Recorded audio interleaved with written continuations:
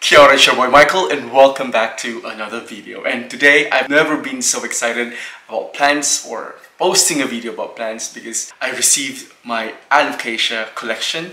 I gave you my heart.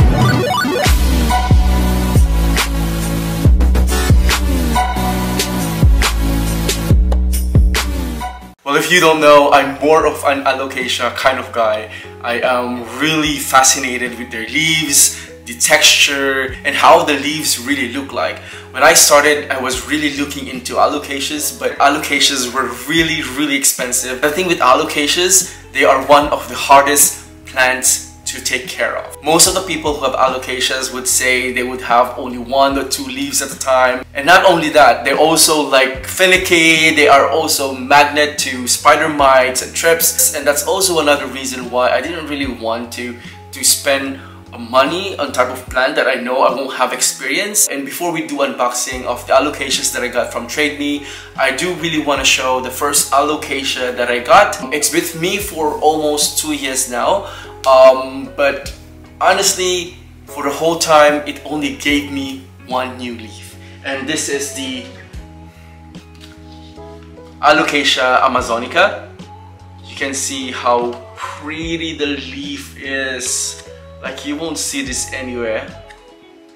It's very well known in New Zealand. It's really available anywhere. I think I only got this for 15 or 20 dollars. Uh, this is the biggest leaf and it gave me this new leaf when I got it like almost two years ago and after that it just didn't give me anything at all it's doing well I guess I mean it doesn't really it didn't give me new leaf but it didn't die or anything so I think it's doing good but definitely this will fall off soon and the second alocasia that was given to me by my friend is this alocasia bambino um, it's basically the same looking as the Amazonica, but it's just small one. So this is like mini Alocasia um, Amazonica.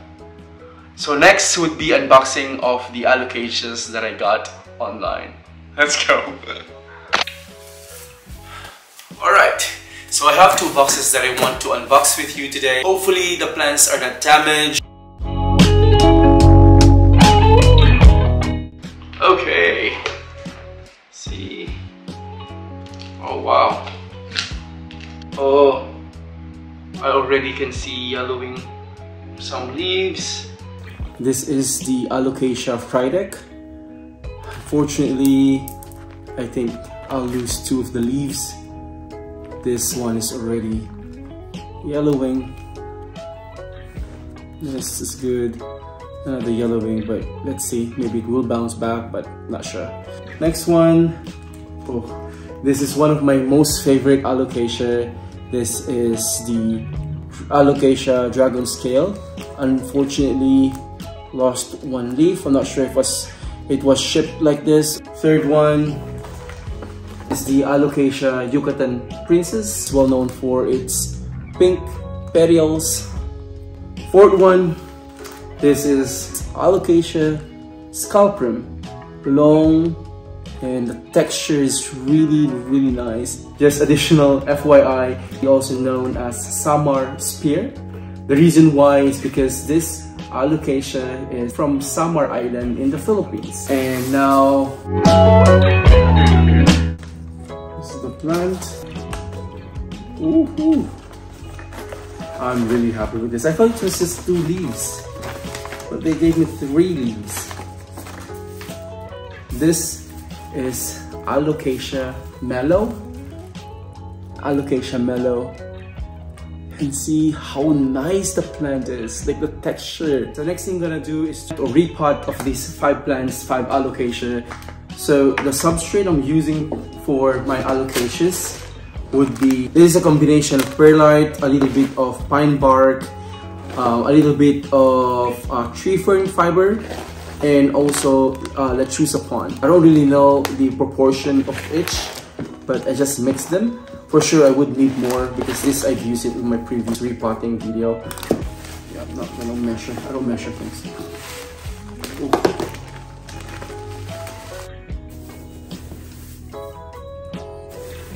like elation. His hands.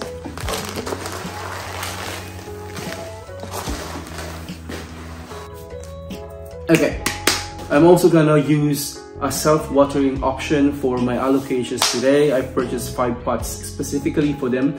It's with this in a wick that's on the bottom and a pot that would be holding the water. Um, alocasias they say that you need to test or poke your finger uh, on the topsoil if it's dry two to three inches on the top then that's the time that you actually want to water but they do really um, can survive in more drier compared to moist.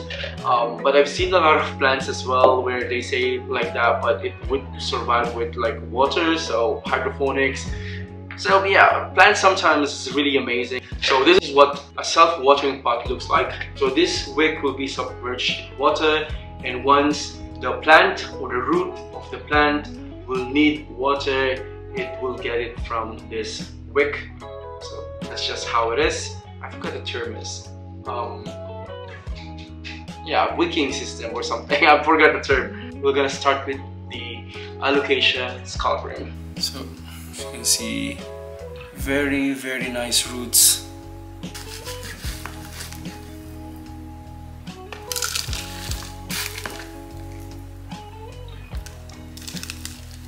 Okay. gonna do this alocasia dragon scale.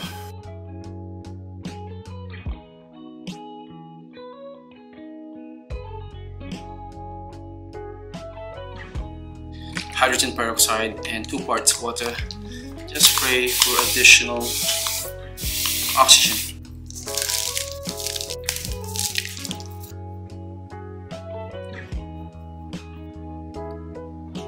Third one, the Alocasia Frydek.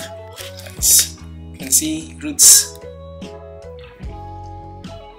Got that bulb or the corm. This is where alocasias start. That's really good. Spray again with hydrogen peroxide. Okay.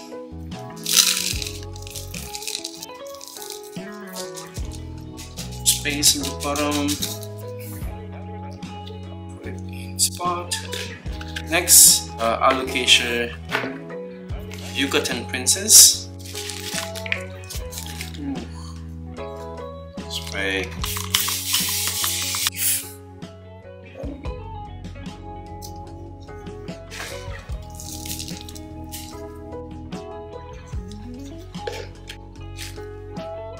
And the last one, Alocasia Melo.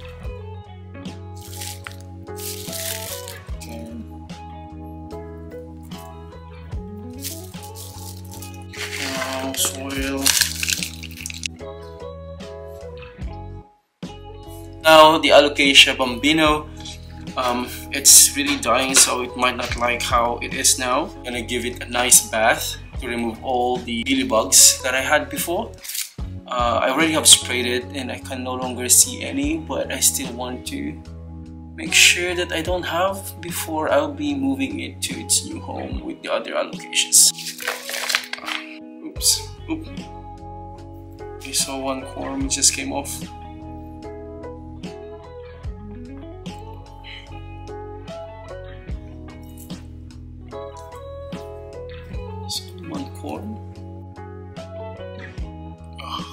Another one here.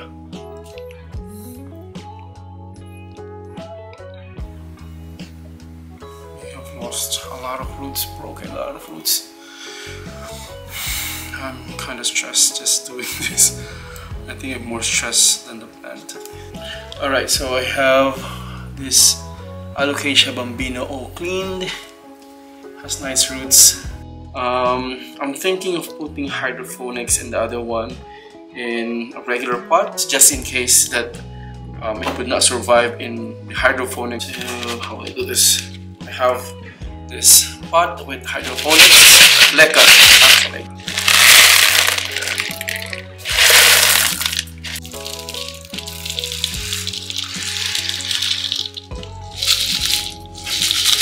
Maybe until this bottom. See how it goes nice one, but it's just dying. Right.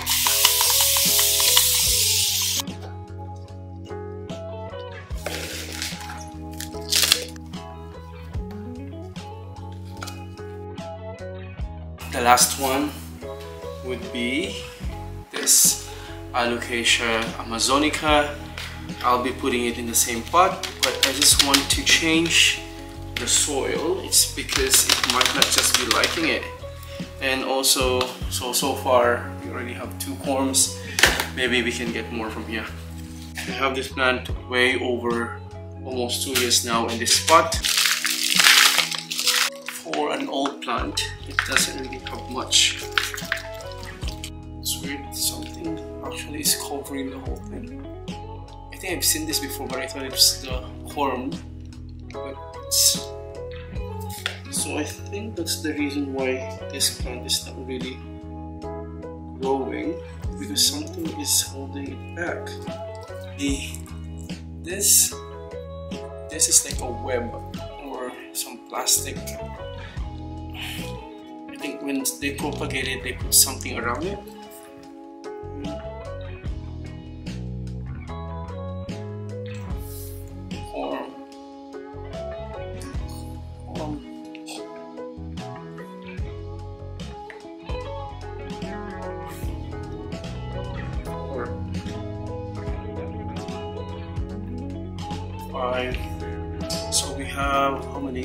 two from the Bambino and five this okay let me just go ahead and go to the sink and clean this baby. So I managed to clean this last um, alocasia that we'll be replanting today. It has quite a nice rooting system that I managed to salvage. I removed the um, like web or plastic looking thing that was covering the whole um, bottom of it. Uh, so I'm gonna be replanting into this spot.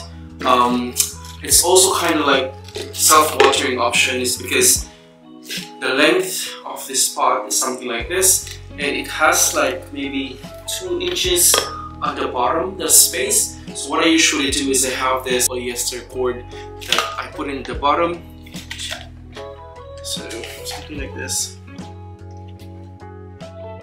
I just want to go around. So I have something like this. I just wrap it around inside this cord. Will be sitting in the water. And it will act as a wicking uh, wick. And I also like to use uh, plastic or transparent um, orchid pot is because I can see how the roots are are rather than opaque ones. Where you can't see the inside. And it's also easier to see if you need to water the pot or not. It's because you'll be able to see the condensation or the moisture inside the pot rather than the non-transparent ones okay so put it like this Alright, so I did manage to repot the plants already. Um, so again, let me just do a recap. This ends the whole video me repotting and replanting my alocasias. If you have any question about this video, just comment down below. If you have any suggestion of what video you want me to do next, just also comment down below. So I'll definitely give you guys an update um, in regard to my self-watering pots using the tree fern fiber pond and also a perlite.